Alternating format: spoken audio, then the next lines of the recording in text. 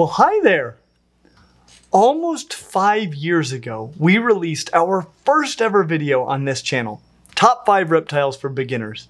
To be considered for that list, a reptile had to meet five requirements. It had to be readily available, affordable, easy to house, easy to feed, and fun. Well, after five years, I want to revisit that list. You've now had five years to learn how to use the internet and to save up some money. So I'm going to get rid of the first two requirements. Just because you might be a new keeper, that doesn't mean that you can't find a breeder online, and it doesn't mean that you can't afford something that costs more than $50 for the animal. So readily available and affordable will no longer be factors. It must be available. In fact, it must be available captive bred.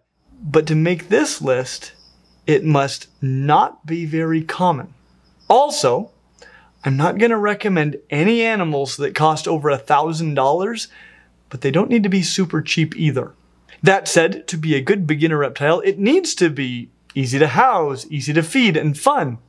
And one more thing. To make this list, it needs to be an uncommonly kept pet reptile that is, in important ways, a better pet reptile for beginners than one of the reptiles from our first list. So this is a list of five uncommon pet reptiles that are better than the top five reptiles for beginners. First on our list are the Antaresia pythons, like this Western Stimson's python. These guys have a long list of pros.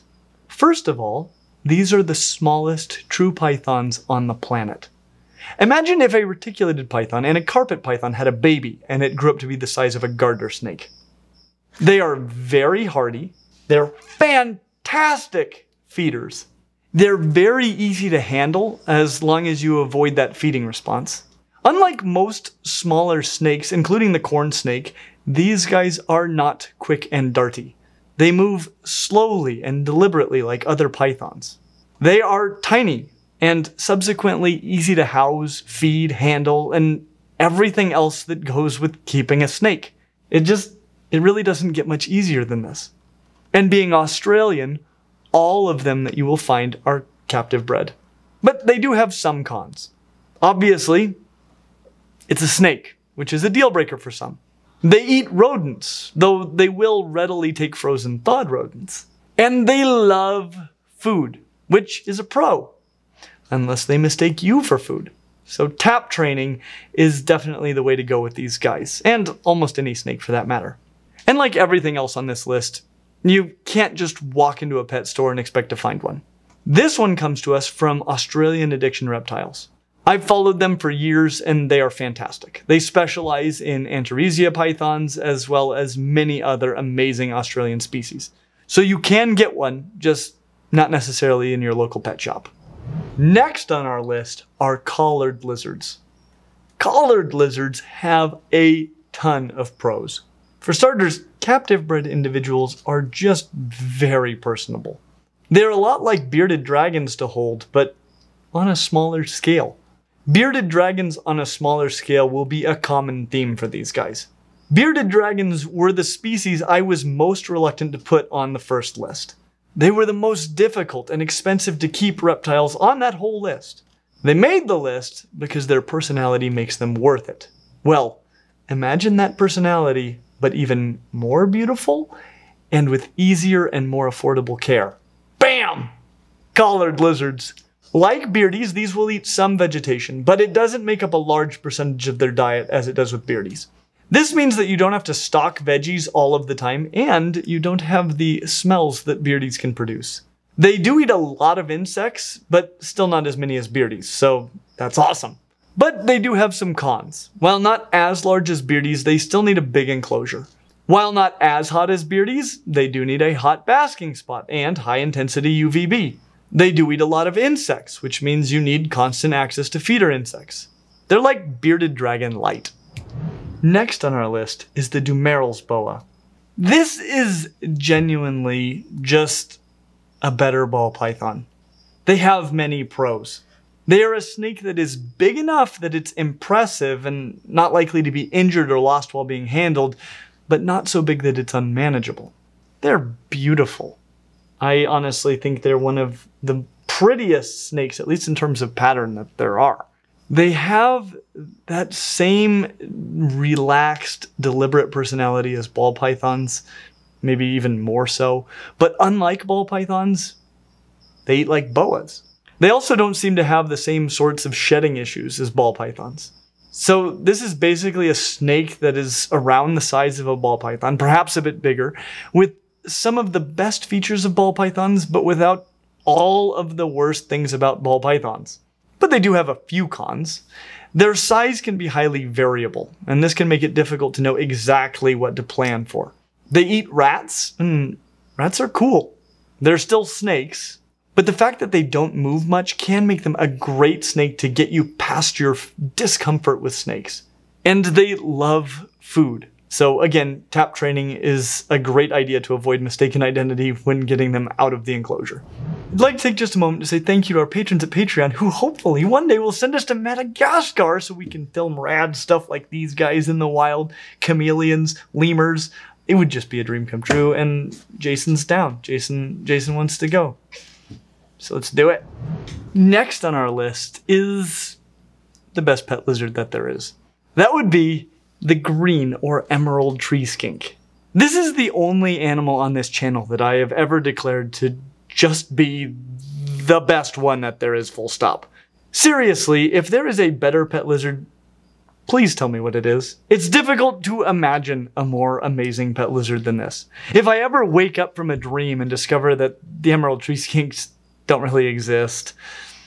I'll be sad, but I'll be like, of course they don't exist. Why would a little lizard be like that? So let's talk about the pros.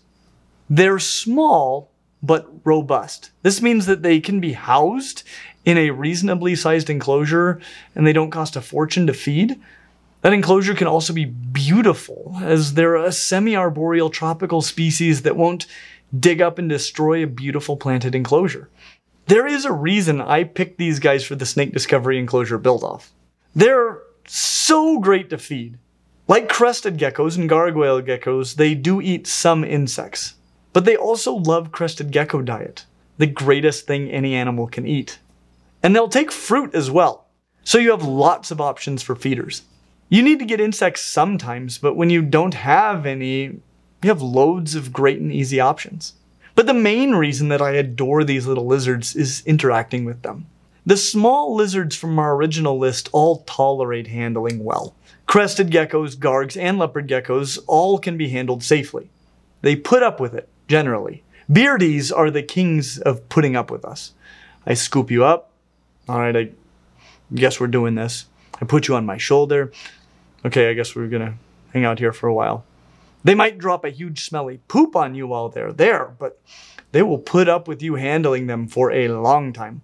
There is a reason that they were used as living props in holes. Well, these guys are the opposite of that. They put up with nothing. You can't go in and grab an emerald tree skink, they'll run away. But they love people. All interaction is on their terms, but jumping on you and your friends is what they want to do. They will run right past food to jump on a person. It's unreal. In my opinion, interaction with an animal simply can't get any better than this. But they do have some cons. They do need some insects, and that can be a pain. They need low wattage UVA and lower intensity UVB basking lamps. But gosh, it's hard to find a lizard that is much easier, and I don't know of one that is more rewarding. This is the best, and it is appropriate for a beginner. Just get one that is captive bred.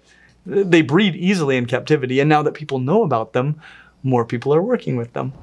And last but not least is my current choice for the best pet snake. Right now, if I could only keep one snake, it would probably be one of these, a super dwarf reticulated python. Now, I can't stress enough the importance of the super dwarf in that title. Reticulated pythons are the longest and among the most massive of all snakes. Reticulated pythons are not a good pet for the overwhelming majority of keepers. But it is only their size that's a problem. Otherwise, they're fantastic pet snakes. Well, there are islands where the reticulated pythons stay much, much smaller. These are the super dwarf reticulated pythons. So, what are their pros? They are, in my opinion, the perfect size. This one's only a baby, but they don't get ginormous like their mainland cousins. They're big enough that handling them is a very immersive experience and they're not very delicate, but small enough that you can handle them safely even if you're alone. Their personality is a lot like a corn snake. They're more interactive, but their girth is more like that of a ball python when they're fully grown. But they eat better than ball pythons. Frankly, they eat better than corn snakes, and maybe even better than boas. They like food. They're also small enough that they eat readily available feeders and not farm animals like their mainland counterparts. But they do have some cons. While these are tiny reticulated pythons, and they're light bodied and small even at 8 or 10 feet, telling your landlord or significant other that you want a 10 foot snake puts up some red flags. If that is too big, you might want to take a look at the other snakes on this list, especially the Antaresia pythons. But if 6 to 10 feet is your upper limit, keep in mind that if you go to the wrong place, you could be sold a mainland retic billed as a super dwarf. This is why I get mine from Reach Out Reptiles because I know they can be trusted 100%. Also, because mainland retics are banned in many places, these often are banned as well. While these aren't giant snakes, they do need the largest enclosures of anything on this list. But suitable enclosures are available from Toad Ranch and other places for not wholly unreasonable prices. And again, this is a snake. It eats rats and loves to eat. Tap training is really important here. But these are fantastic snakes. And that makes five. These are honestly not only five of the best pet reptiles for beginners, these are five of the best pet reptiles that you can get no matter who you are. They're fantastic. But there were a lot of others that are just as good that almost went on this list. Should we make a sequel? What do you think we should include? Please let me know down in the comments. As always, like and subscribe, and we hope to see you real soon. Next on our list is the Dumabrill's boa. oh, you're so great. Why is she so great? Look at this. So great. So, so great. So great. Hey. I'm eating this cricket. I'm gonna eat it. I'm gonna eat this cricket. Oh, oh, oh. Good, you're going down, cricket. You're so cute even when you kill stuff. That's my hair, Chris. Oh. You have one out of place. Yep, still, nope. still. Barely. Wardrobe.